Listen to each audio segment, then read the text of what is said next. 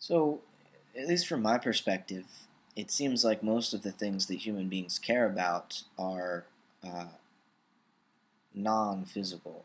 You know, like truth, beauty, goodness, love, justice, um, harmony. You know, these aren't things that you can point to in the world. They're immaterial values.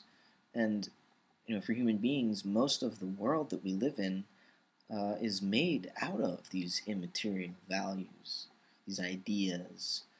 Um, and so often, you know, whatever we might mean by the material world uh, is seen through the lens of, of ideas. And so, you know, being in such a position, the position that the human being is in, uh, living in a world of ideas, it would make sense that we would do metaphysics, wouldn't it?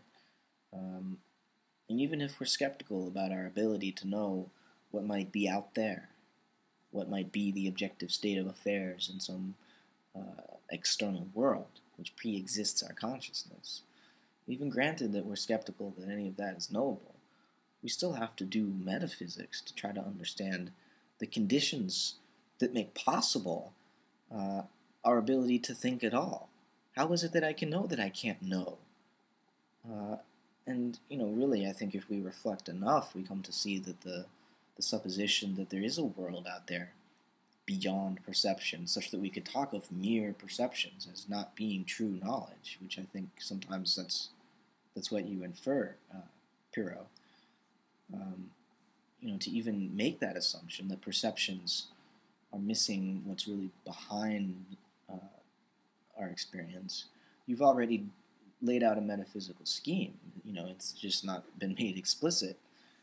Uh, you know, in, in point of fact, at least as, as far as I can tell, you can't open your mouth to speak uh, without making metaphysical assumptions. Any claim you make about the world presupposes uh, an already established framework, an imaginary background that underlies the explicit state of affairs that your words point to. So, you know, by virtue of the fact that we are linguistic animals, we are uh, at least once we come to reflect upon our own speech, metaphysicians. And to deny that, I, think, is uh, it's it's it's an oversimplification, perhaps, or a cop out, or because it just seems like it lops off half of human life. And granted, it's difficult to have to uh, come to terms with the possibility of knowledge.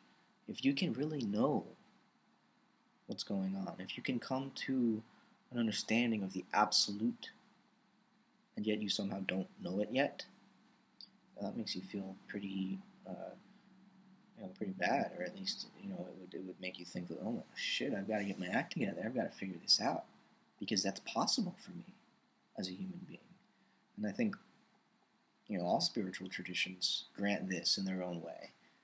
Uh, you know, Buddhism you know, the Buddha referred to the human being as a very auspicious occasion uh, that we should have reincarnated as a human rather than any of the other sorts of sentient beings in all the other realms. Um, you know, plant and animal, and uh, you know the, the, the higher realms, which you know higher doesn't necessarily mean that they're better. There's hungry ghosts and uh, other uh, beings which aren't in the position that the human being is, because the human is is capable of, of awakening uh, and so it almost makes us responsible for uh, that sort of ultimate realization. And even in the Christian tradition, you know, this notion of sin, a lot of people who were raised Christian like to throw off that baggage and stop feeling guilty about being a sinner. But sin just means you're not living up to your full uh, potential.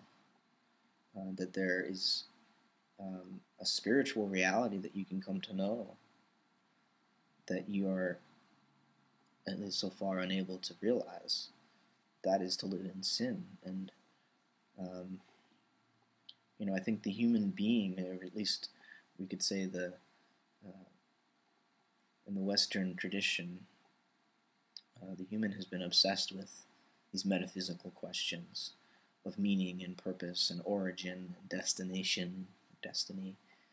Uh, because we can't help but ask such questions, because we live in worlds which, uh, for the most part, are physical, yeah, and, and there are certain physical bodily restraints that we must deal with, but these restraints have meaning for us, and we have dreams which seem entirely detached from these physical restraints, and ideals which seem to uh, be what underlies the very possibility of there being physical constraints at all.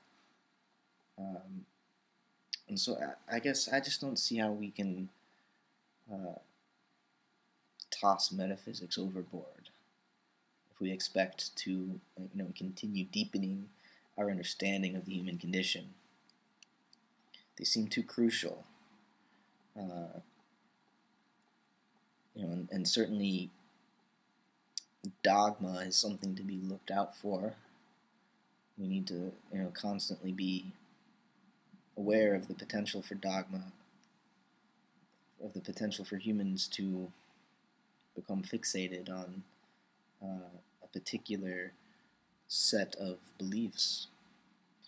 Uh, but you know, in order to say that someone's belief is wrong, again, you're doing metaphysics, and so uh, we've got to find some sort of uh, a balance here. Not all metaphysics not all metaphysical reflection uh, is dogmatic. It seems I can't help but ask questions that there aren't, you know, empirical experiments which I could devise to answer.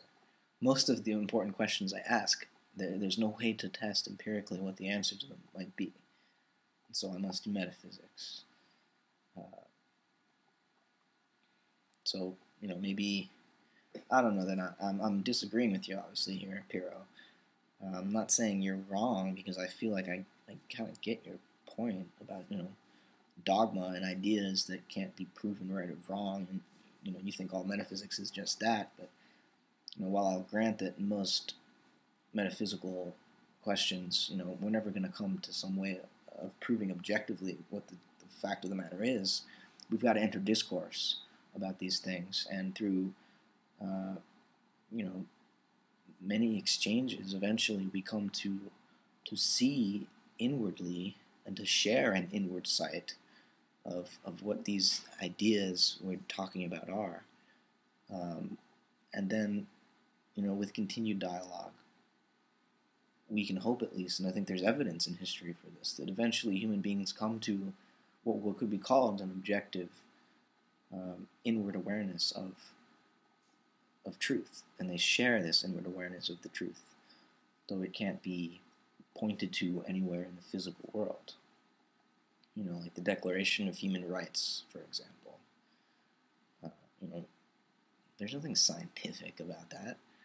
There's nothing uh, physically measurable about the truth of that. It's an agreement that human beings come to, that it's an objectively true fact you know, not objective in that it exists outside of human beings. No, no. Within the human sphere of, of social relations, it's objectively true that human beings uh, deserve equal rights under the law.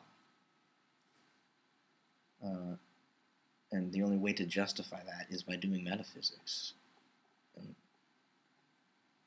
you know, otherwise, what are we supposed to do? Just not talk about why we feel like human beings all deserve equal rights. I mean, we've got to articulate the reasons underlying these values that we have.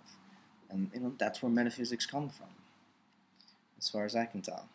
But uh, yeah, thanks for listening. And uh, Pyrrho, let me know what you think. I hope uh, you know you're you're understanding where I'm coming from and why I kind of feel like it's silly to say that we can get rid of metaphysics. It seems intrinsic to the human condition, as far as I'm concerned. Um, but uh, yeah, let me know what you think, Pyrrho, or anybody else that wants to chime in. Thanks for listening.